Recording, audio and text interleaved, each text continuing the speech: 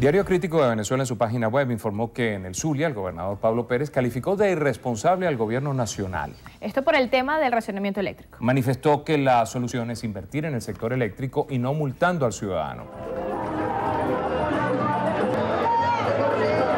No hay nadie quien dé la cara y diga que por fin va a ser la solución del tema eléctrico. No son multas, no son cortes la solución. La solución es las inversiones.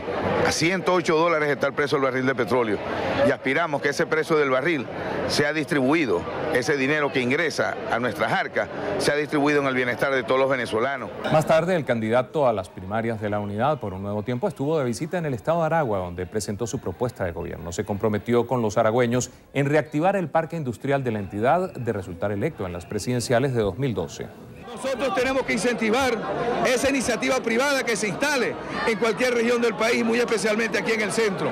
Aragua es una encrucijada de Venezuela donde llegan y es una vía obligatoria para todos los venezolanos.